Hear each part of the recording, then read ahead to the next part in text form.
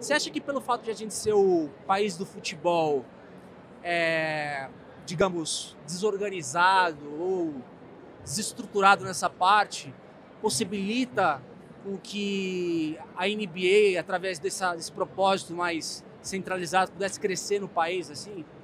A gente, a gente acredita muito nesse modelo de liga, né? Acho que, falando um pouquinho como a gente é estruturado, né? É, existe a NBA aqui no meio, né? a liga de basquete, e você tem em cima da liga 30 donos, vamos dizer assim, né? Chicago Bulls, Boston Celtics, Lakers e por aí vai. Então, são entes privados, uma, né? São entes privados, exatamente. Cada um tem um 30 avos da liga, né? O que, que acontece? Dentro de quadra, o LeBron James no Lakers vai querer derrotar a qualquer forma, a qualquer custo, o Golden State do Curry. Né? Eles se odeiam, no bom sentido, dentro de quadra. Uhum. Fora de quadra, negócio, somos sócios. Isso muda radicalmente a forma que você enxerga o negócio, né? Então, o que, que acontece? Vou dar uma referência. A gente, todo ano, tem uma reunião de marketing e vendas. E a gente chama as 30 franquias. Né? Então, o Lakers vai levantar a mão e falar, gente, eu tenho um caso aqui de venda de ingresso que eu usei o Facebook ou o que quer que seja, incrementou em 30% as minhas vendas. Ó, é assim que eu fiz. E isso vira padrão de melhor prática para os outros 29. Uhum. É, ou seja, dentro de quadra eu quero ganhar de você. Fora de quadra, eu quero aumentar o bolo. Compartilha experiência, né? Exatamente. Uhum. Então, assim, eu acho que tem um lado muito claro que as franquias são sócios, né? Um outro exemplo que acho muito disruptivo, uma regata. Regata do Chicago Bulls vendido aqui na loja, ali no Morumbi Town, em São Paulo. Né? Eu vendo ali essa regata. Ou a regata do LeBron James, que está vendendo um monte, por exemplo. Um 30 avos dessa regata vendida vai para cada uma das franquias. Ou seja, mesmo que a tua franquia esteja mais popular, mais quente, ou foi campeão, e a minha esteja mal, eu Aham. divido essa receita. Ou seja, Olha, eu não quero te destruir, ou seja, eu preciso de você para a gente conseguir, exatamente, continuar crescendo, continuar ganhando. E a gente tá meio longe disso, né? No Tá. futebol, né, cara? Um pouquinho ainda.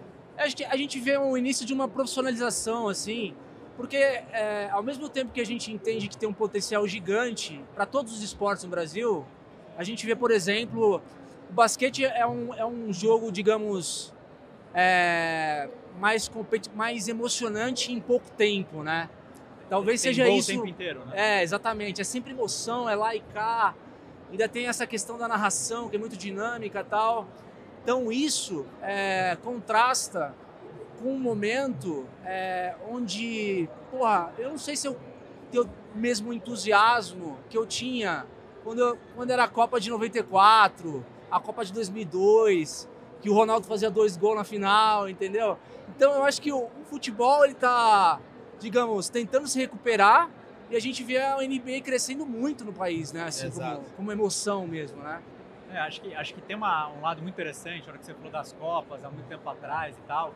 Eu acho que o, mundo mudou muito na forma de consumir conteúdo e, consequentemente, esporte sendo conteúdo, isso mudou drasticamente. Então, a gente está num país que tem uma religião que é o futebol. Uhum. Eu amo futebol. Né?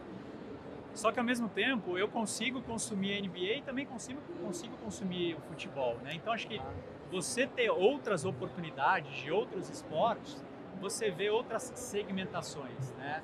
Então tem pessoas hoje que podem consumir menos o futebol e estão consumindo muito mais NBA. Sim. Porque é um esporte que você falou que te marcou na década de 80, que você consumia o Jordan e o Chicago Bulls, só que agora você consegue consumir NBA 24 horas por dia Sim, sim. talvez você tenha diminuído o teu interesse por outros esportes. né? Então acho que bacana desse jogo todo é você consegue hoje sentado no Brasil por 24 horas todos os dias do ano consumir o que tem de melhor de NBA, Sim. dentro e fora de quadra. né? Então acho que isso é muito forte, né? E a gente tem investido muito aqui no Brasil nesta linha.